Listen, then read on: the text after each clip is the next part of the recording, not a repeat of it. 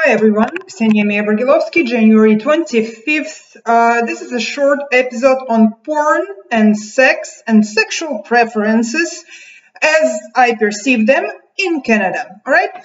So, um, I've been watching porn at some point in my life because, well, I had problems in my marriage. My ex spouse was. Um, not aligned with me in his sexual preferences. He is an XXY, and so partially his preferences are more quirky and, uh, uh, so to speak, uh, require less emotional connection and more um, physical satisfaction, like uh, jobs or quickies or up the asses or something like that, which didn't quite suit me. So I started watching porn online in Canada on worldsex.com com, I believe that's the site.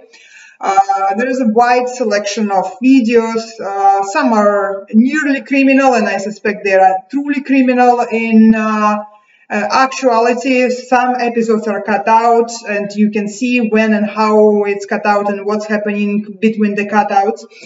Anyway, there are big T's, big Jags, interracial, uh, LGBTQ, and so and so on and so forth. Because it was my second relationship, really, and I've uh, had very minimal exposure to um, relationships and sex acts in the past, I decided to check it out, which suited me uh, fine because I didn't want to bother anyone. I didn't want to infringe on anyone while exploring my own sexuality. My husband didn't completely uh, satisfy me in that uh, respect, and so I decided to look it up. All right.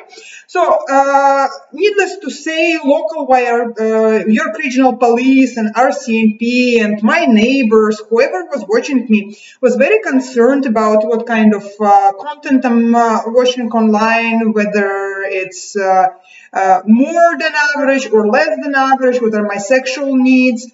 So, needless to say that uh, somehow everyone got concerned over my uh, uh, viewing history, so to speak, and uh, everything else from there on um, trickled into me sitting here in detention um, my bank closed the accounts while parading half-naked girls in front of me and uh, throwing all sorts of hints. Okay, so what I'm trying to say is that you folks coming here from Europe, from Russia, from Ukraine with beautiful girls uh, local uh, guys and girls will hate you. They will just fucking kill you. They will uh, spur your veins and uh, uh, burn you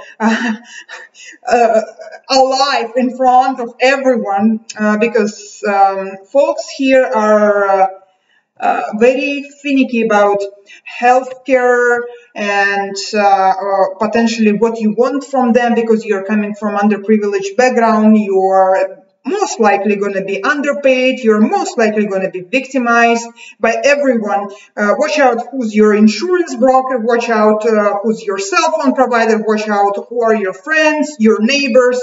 Watch out what kind of cables are running through your house, who sold the property to you, etc., etc., etc. Because you folks coming here from uh, uh, foreign countries unless you have established uh, families here and uh, sort of uh, legit connection. I was lured into Canada, okay, and uh, while being so, socially connected and networked throughout the Russian Jewish social circles, which didn't quite sit right with me because um, I mean, I didn't have anything in common with the folks that I was going camping and uh, doing the, you know, canoeing trips, etc., etc. Having said that, um, again, my exposure to uh, romantic relationship was minimal. I had one boyfriend at 19 and a half, um, back from where I came from, from Uzbekistan, or so to speak, Uzbekistan. I was born in USSR. I'm Slavic. Anyway, so uh, everyone fitted me, everyone judged me, everyone prejudiced me. I was uh, uh, circled around and consistently placed into ghetto work placements. Um, everyone, everyone, everyone I dealt with uh, was viewing what I was viewing, what I was searching for, and so uh, somehow my uh, dissatisfaction with my marriage and inability to uh, resolve it speedily because I didn't have uh, parental support um, and my online communications were tampered with uh, when I was reaching out to counseling services. Right. So everything was kind of turned against me. I was given this, uh, so to speak, education so that I can open my own business, and I assume uh, I didn't go with the business because I knew that I would be set up, uh, right? So there are uh, work placements that I was put into with um, hints and salacious remarks and with uh, people who are looking for relationships right, rather than for work. So what I'm saying is that um, local Canadian white public were thinking of themselves as, uh, you know, by Jesus Christ, they are the elites, they are the owners of this land, and so they have the right, divine right to enslave everyone, and regardless of, uh, you know, what, how, and why, just by birthright, so to speak, okay? And that's how I was. For 16 years in Canada, I was enslaved in a marriage that essentially translated into environmental racism because the, uh, my ex-spouse is an XXY with uh, i believe he is uh, slightly on the spectrum because his sexual preferences and remarks are slightly off um, so and not of an average male okay? Um, or so i perceived. And so and he was uh, living in the zone on the immediate zone of uh, Chernobyl environmental disaster. So that's how I came to Canada. And why all of that, why I was put through all of this shit, why I was enslaved, ethnically cleansed, uh, subjected to environmental racism, subjected to uh, uh, sexual harassment, subjected to police uh, uh, authorities, uh, excessive force, and violations of my well-being. I was put into uh, involuntary detention in my house. My bank uh, uh, just threw me out and the state closed all of my accounts. So I'm saying I'm being violated. Only because I came here, as I've recently learned, because my mother and her spouse had some uh, healthcare concerns and they were, uh, I believe, um, in, infected with the sexually transmitted disease. At that time, when I was undergoing medical examination to enter Canada, no one disclosed this to me. Okay, no one said nothing.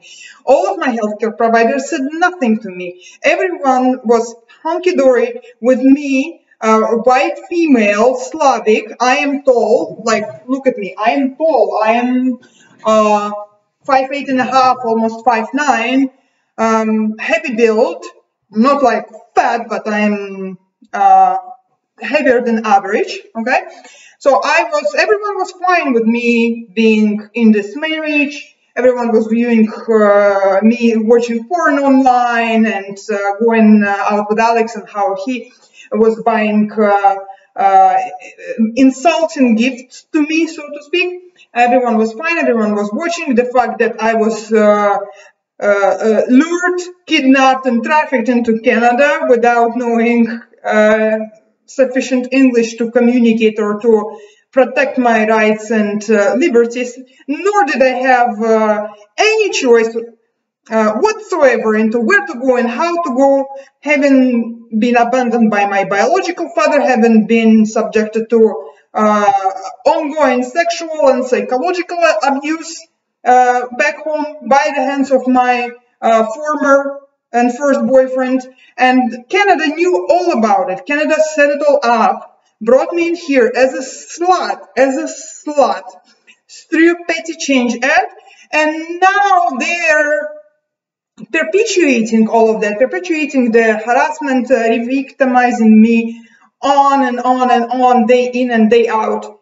I have no idea what's going on. I don't have like my mother is completely dependent on her current spouse. He is not my biological uh, spouse. I don't know who gave whom what disease.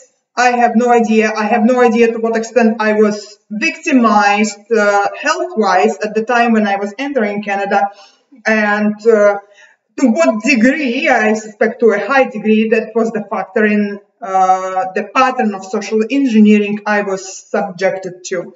Okay, so there's ghetto placements, uh, low pay uh, jobs, uh, labor law violations, unlawful uh, layoffs slash fire offs, uh, sexual harassment, etc., etc., etc.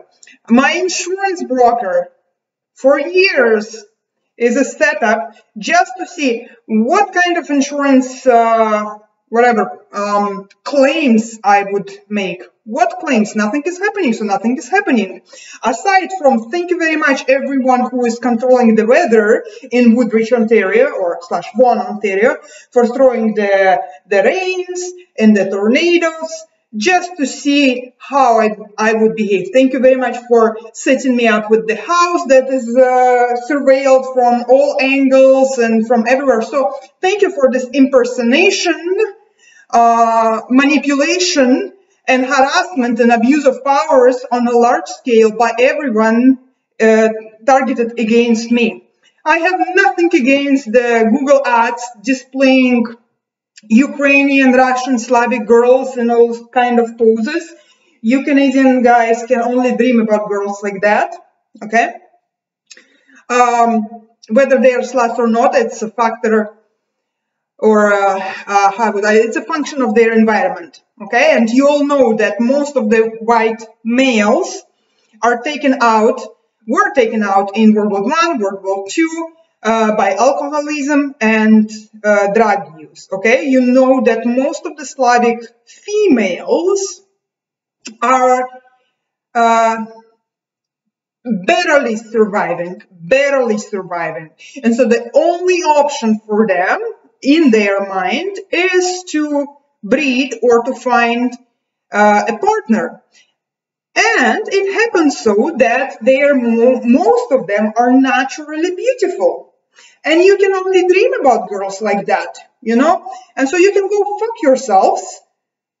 Whoever brought me here to marry off to, I don't know, some hairy uh, black dudes, I mean, Middle Eastern, Oriental, uh, all of those, uh, to ethnically cleanse me just because I had no choice of where to be born, okay? And so I was born in USSR, and uh, my father is uh, Russian Ukrainian. My mother is 25% Ashkenazi Jew, and the rest is uh, Ukrainian, Russian, whatever, Slavic too. Um, so thank you for the attempts on my life. Thank you for the attempts on my dignities. Thank you for the attempts on my well-being, psychological and physical. Thank you for ethnic cleansing, for genocide, for environmental racism. Thank you for giving me the opportunity to study so that I can open my business so that you can fuck me up with the insurance, with the housing, with the clients, with the co-workers, with the recruiters, with everything. Say it out loud that you had zero benevolence towards me, zero goodwill towards me right from the get-go. You wanted to bring me in to marry off to some, I don't know, whoever doesn't look like me. Okay, so this is just a short episode on sexual preferences and manipulative tactics deployed by uh, Canada towards underprivileged, uh, socioeconomically deprived females coming from post-Soviet countries.